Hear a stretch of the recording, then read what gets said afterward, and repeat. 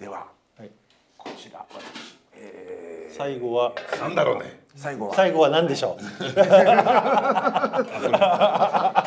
あのーさっきのね、あのー債務上限問題に絡んで、はい。トランプ前大統領はい。はいちょっとおお一番のキーパーソンはい。というところになりますけれども、えーまあ、デフォルトの問題ね、というところで、あのやっぱりこれで見ていかなきゃならないのは何かこうバイデン大統領あるいはバイデンホワイトハウスと、えー共和党の,、あの VS の構図だけが日本の、ね、メディアでは報道されてますよね。であの一つはさっきね江崎さんに挙げていただいた地,、えー地球温暖化対策、気候変動対策。それからあと、えーもう一つはおあのなんですかその低所得者層向けのその公的、えー保険制度と言われるメディケアと言われているもの、これに対してその歳出を減らせと、歳出を削減しろと、ね、あるいはあれですね奨学金の、えーまあお返済の返済が非常に負担が大きいので、その負担を減らしますよということでまた税金投入しようとしたけどもそれについてもけしからんと噛みついている。というところ。まあ言ってみれば気候変動対策とそのメディケアのところなんだけどもこれはまあバイデン政権の目玉政策だから、えー経験には簡単にはあのね、共和党の要求に応じるわけにいかないっていう、まあ、そういうそこまでは書かれてますよね。じゃあその共和党の中って今どうなってるのかというところなんだけども、じゃあ下手したらあの最短で6月1日にもデフォルト債務不履行という状況が起こるにもかかわらず、えー、随分と共和党の中も強強硬だなと、ね、でその内部の何が起こっているのかっていうのが日本のメディアはほとんど書かないんで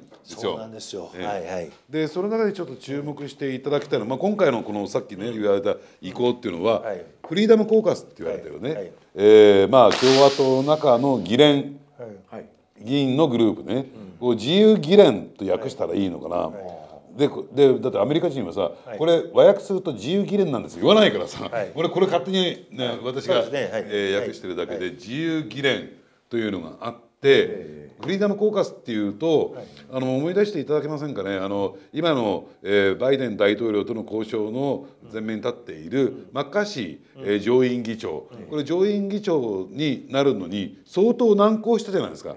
から下院はだって共和党が過半数以上持ってるんだから、普通だったら1回の投票ですんなりなるんだけども、ね、なかなかなならなくて何回も何回も、そのアメリカ建国以来、えー一番多く投票したなんていう回数になって、でじゃあだ最後まで誰が反対したのかというと、このフリーダムコーカスなわけ。でなぜ反対したのかっていうと要するに2つは2つか、まあ、この2つの理由は一緒なんだけども、えー、1つは、えーバイえーマッカーシー、ねえー上院議員が、まあ、上院議員時代のマッカーシーがね、要するにトランプ大統領に対して批判的だった1点目。ね、でまあこれお同じこと意味なんだけどもトランプ大統領はマッカーシー上院議員に対して否定的であり批判的であり、ね、嫌っている、ケミストリー合わないみたいなね、ところがあったから、えーまあ、えー結果的にフリーダムコーカス。ということはよこのフリーダムコーカスっていうのは、えートランプ前大統領に忠誠を誓っている議員のグループ、共和党の中に4つの議員グループがいるんだけどもその中の最右翼と言われている強硬派です。ね、でこれが60人近くいるんですよ。結構多数派になっていて、えーキャスティングボードを握っている。だって今、えー下院にしても上院にしても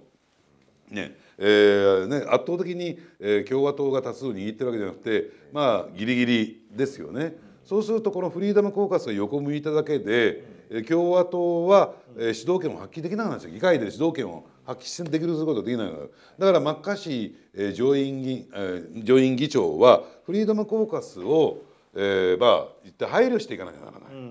なるほど。でじゃあフリーダムコーじゃあ,、じゃあその背景にいるトランプ前大統領なんですけれども、先だって CNN に出たでしょ、7年ぶり点々点々 CNN って言ったんですか？急敵視してたはずの。急敵視。え7年ぶりに出席しました、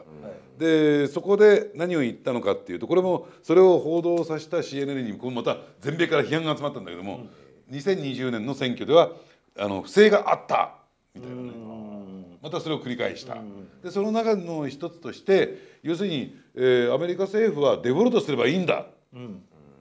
最悪のタイミングに最悪の情報発信が行われたんですよ。つまり、えーね、あの共和党上層部と執行部とトラン、えーバイデン大統領が協議をしている最中にトランプ大統領をボンと出した。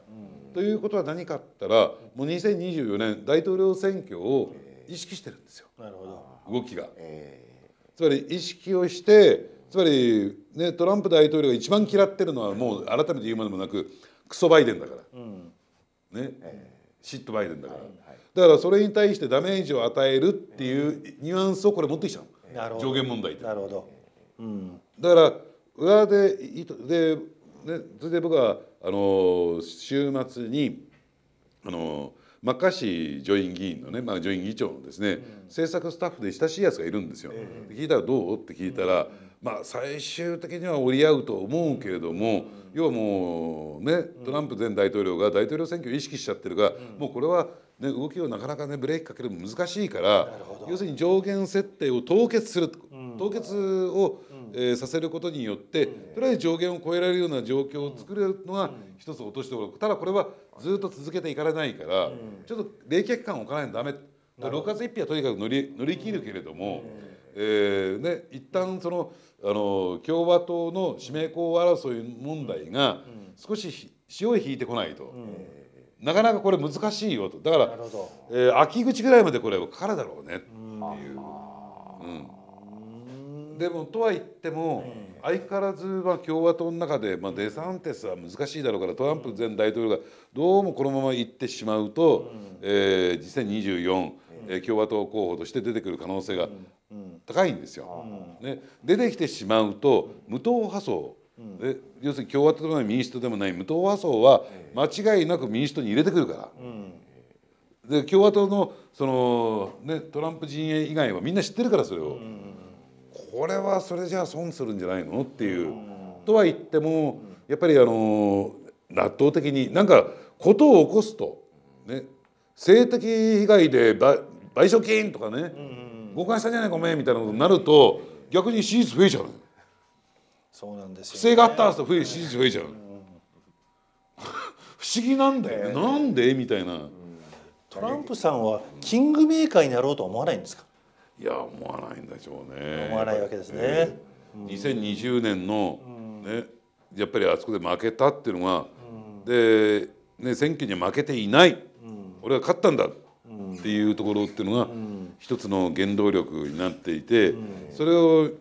認めない負けたことを認めないことが、